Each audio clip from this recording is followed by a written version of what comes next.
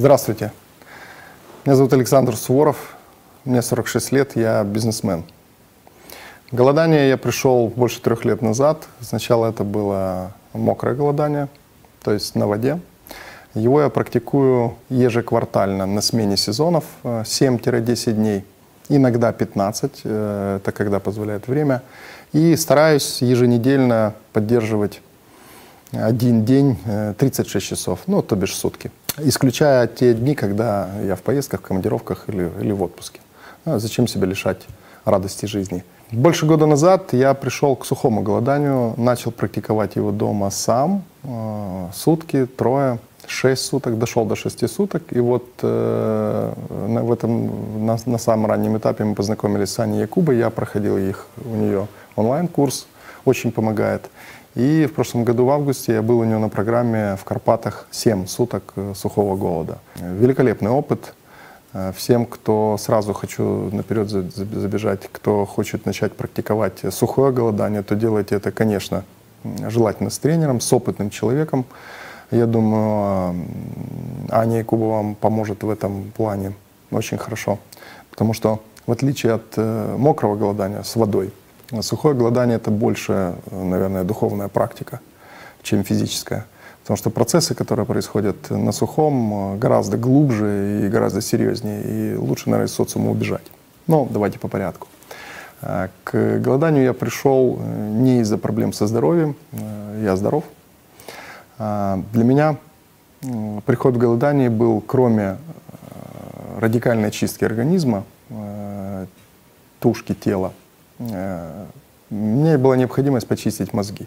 Я думаю, как у любого человека в наше время, Э, человека дела, ведущего напряженный э, образ жизни и деятельности, э, в голове скапливаются, или в голове, или в том, что мы называем головой, скапливается огромное количество всяких ненужных залежей, всяких обязательств, шлейфы каких-то невыполненных целей, культивируется чувство вины и так далее, и так далее. То есть нагромождение вот этого всего, ментальных масс, их периодически надо чистить.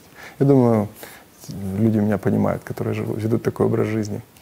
Э, голодание максимально разгребает эти залежи и завалы, и наоборот э, выводит нас, э, нашу ментальную составляющую, на совершенно новый образ жизни. Особенно в сухом голодании. Буквально с третьего дня начинаются такие интересные процессы в психике и в, в, мирово, в мировосприятии. Ну, во-первых, сразу обостряются органы чувств все. Обостряется зрение, слух, э, восприятие, э, что очень важно, очень, очень сильно обостряется интуиция.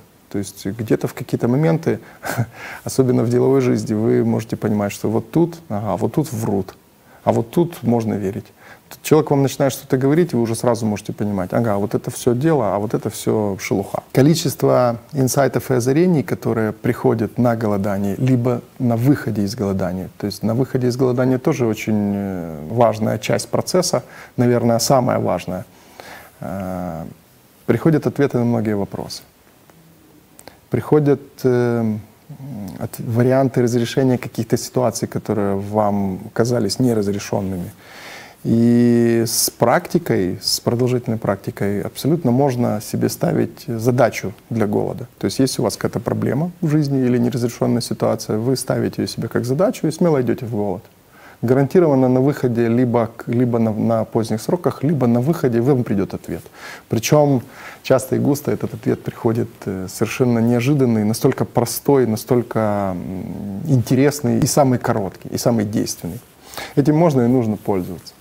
Поэтому голодание, если говорить про меня, это не, не просто очистка тела, это не просто генеральная уборка и периодическая, так сказать, перезагрузка организма. Это отличная, отличный способ почистить мозги. Желаю вам здоровья.